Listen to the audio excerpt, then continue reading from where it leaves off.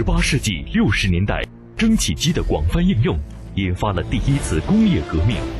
机器成为社会生产的主角，人类社会进入了前所未有的高速发展时期。电力发明之后，人类社会再一次向前加速，人们的生活变得无比便捷。人们在享受这些机器带来的巨大物质性成就的同时，极端气候灾难发生的次数也越来越频繁。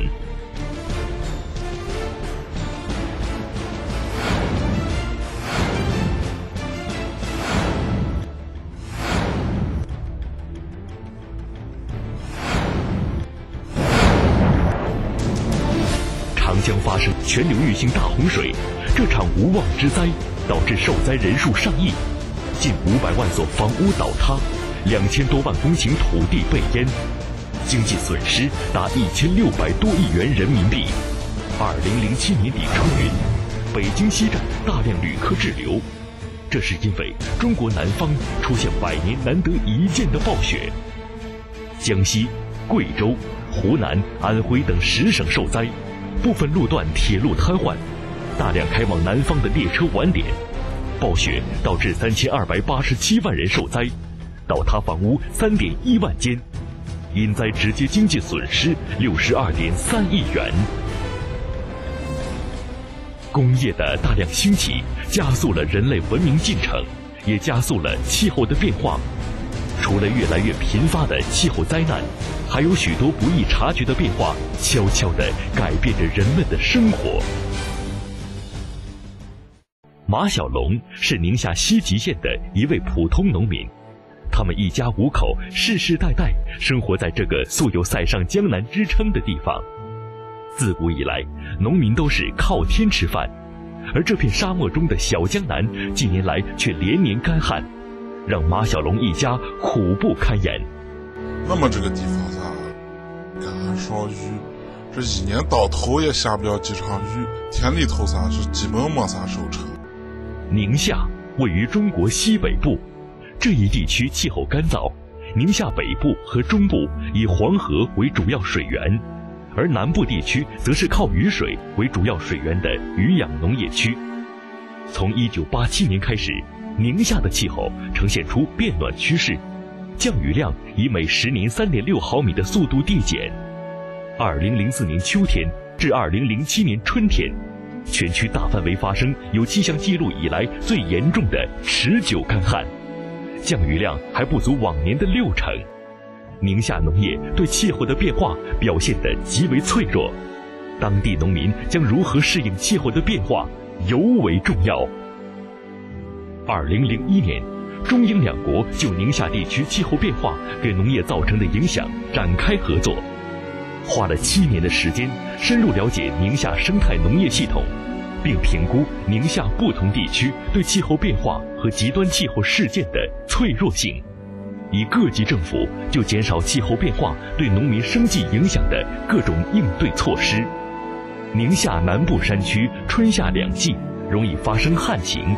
种小麦等夏粮几乎年年欠收，但是秋季雨水相对较多。加上当地土壤疏松且富含钾元素，非常适宜种植块茎作物马铃薯。近年，这种气候优势越发突出，于是政府鼓励农民压夏扩秋，发展马铃薯种植业。现今，宁夏地区马铃薯种植规模成倍增长，已成为中国西部重要的马铃薯生产基地。西吉县农民马小龙家的耕地。今年全部种植了马铃薯。他说：“早年乡亲们小块种植马铃薯，多是为吃饱肚子。现在马铃薯成了致富的金豆子。”我家去年种了二十亩洋芋，毛收入两万多块，相当于好年头种一百亩旱地麦子的收成。气候变化不仅对农业产生巨大影响，还造成全球变暖。海平面上升等不易察觉的影响。中国科学家的预测结果表明，与2000年相比，2020年中国年平均气温可能将升高1.3至2.1摄氏度，2050年可能将升高2.3至3.3摄氏度全国温度升高的幅度由南向北递增，西北和东北地区温度上升明显。预测到二零三零年，西北地区气温可能上升一点九至二点三摄氏度，西南可能上升一点六至二点零摄氏度，青藏高原可能上升二点二至二点六摄氏度。未来五十年，中国年平均降水量将呈增加趋势。预计到二零二零年，全国年平均降水量将增加百分之二至百分之三，到二零五零年可能增加百分之五至百分之七。其中，东南沿海增幅最大。未来一百年，中国境内的极端天气与气候事件发生的频率可能性增大，将对经济社会发展和人们的生活产生很大影响。中国干旱区范围可能扩大，荒漠化可能性加重。中国沿海海平面仍将继续上升，青藏高原和天山冰川将加速退缩，一些小型冰川将消失。中国人讲究未雨绸缪，面对气候变化带来的这些巨大影响，如何提前做好适应这些变化的准备，显得尤为重要。在先前成功合作的基础上，中国、英国、瑞士政府再度携手，启动一个规模更大的新工程，即中国适应气候变化项目，英文缩写为 ACCC。ACCC 将关注可能受到气候变化严峻影响的具体领域，包括农业、水资源、减灾和健康。我们将开展详细的风险和脆弱性评估。使用案例分析，找出富于针对性的适应措施，这对于当地社区和政策决策者来说至关重要。项目还设宁夏回族自治区、内蒙古自治区、广东省为试点省，